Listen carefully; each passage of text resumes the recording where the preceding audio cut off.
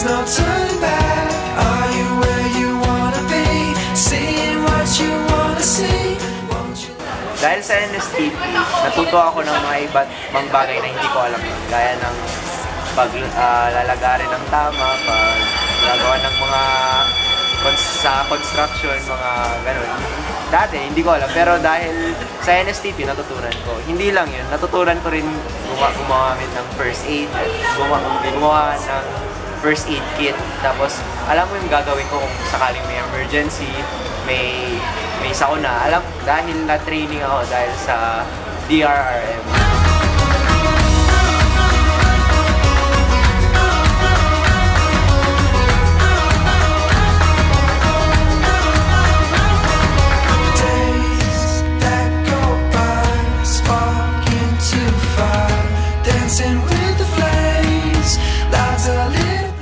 Dahil sa NSTP na nag-mature ako at mas lalong nag-grow kung sino talaga ako.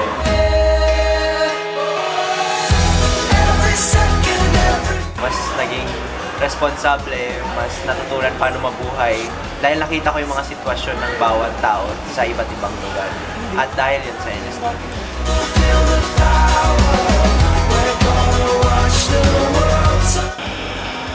Sa pakikisalamuha sa mga tao sa komunidad, natuto akong makibagay at at tulungan sila sa iba't ibang paraan upang mas mapabuti ang kanilang buhay.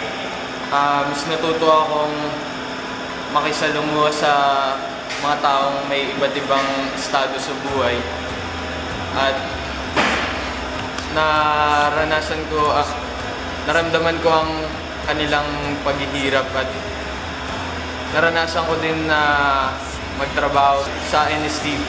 Won't you let me take you there?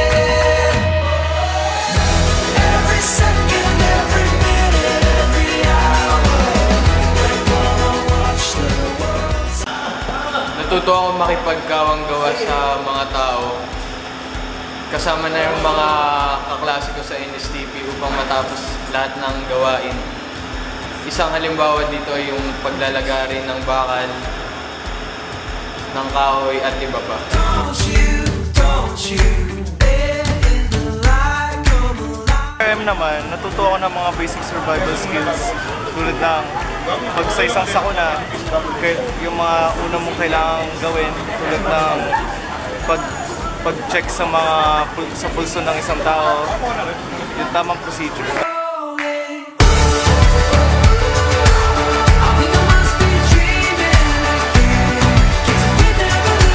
Magagandang proyekto ang nasa NSTP tulad ng DRRM,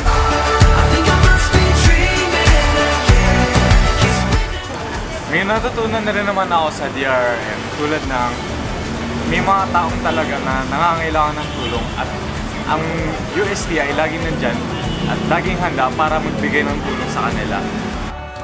Skyline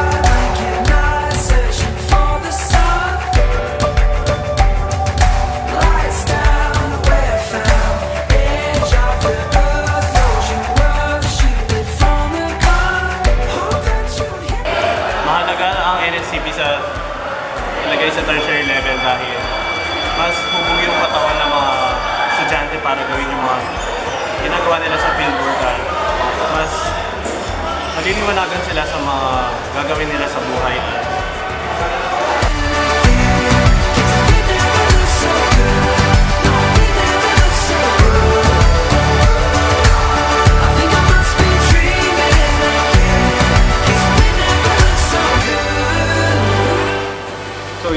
nag-NSTP kami pa- para pumunta dun sa Nagkarolan Laguna, nung pumunta kami sa community para tumulong sa kanila, nakausap namin sila for some moment.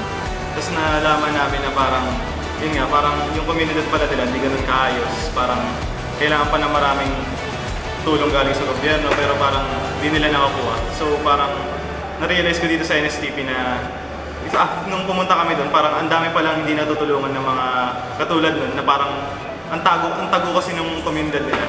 Tapos nalaman na rin namin na parang ano, bali, nalaman parang ang yung hospitality pala nila kahit di nila kilala yung mga pupunta doon, parang ang ganda kahit di nila kilala. Binigyan pa nila, binigyan pa binigyan pa nila Ayun, binigyan pa nila kami ng parang saging ba yun? Hindi ko lang, hindi ko sure kung saging, pero parang saba, yun, ga- saging saba, binigay pa sa amin. Tapos parang yun, na-realize ko na kahit hindi kayo magkakilala, parang nalaman namin na pwede kayo magsalama.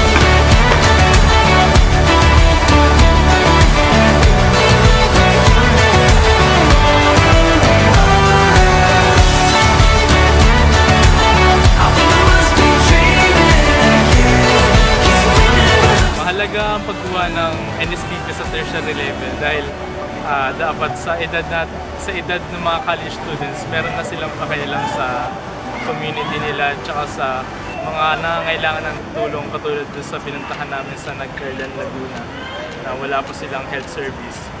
Ah, pagiging pagkakaro ah, pagiging mulat din it- ito sa mga bagay na kailangan pagtuunan ng pansin katulad nung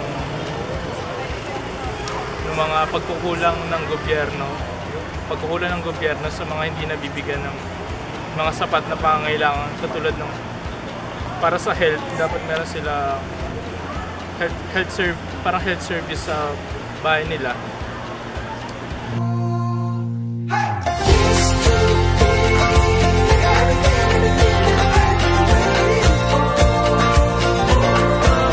Hindi natin kunin ang NSTP as a requirement pero dapat magkaroon din tayo ng uh, pakialam, pakialam sa paligid natin.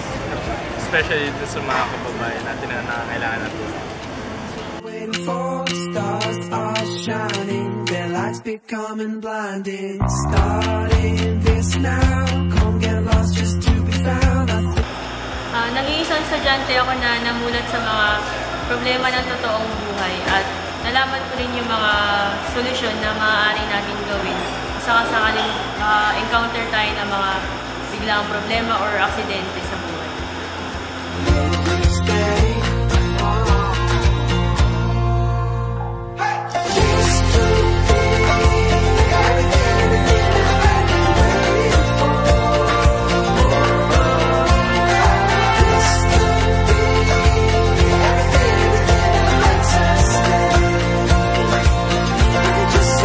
Sa kurso ng NSTP na simple lang yung pamumuhay ng mga tao sa Nagkaroon Laguna.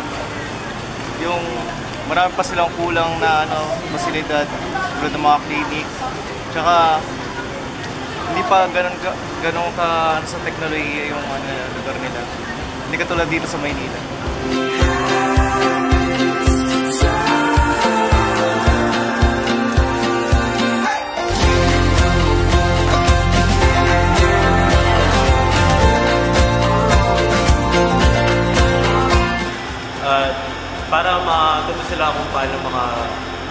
Makipagsalamuha sa ibang ibang iba't ibang mga klase ng tao sa ating bansa.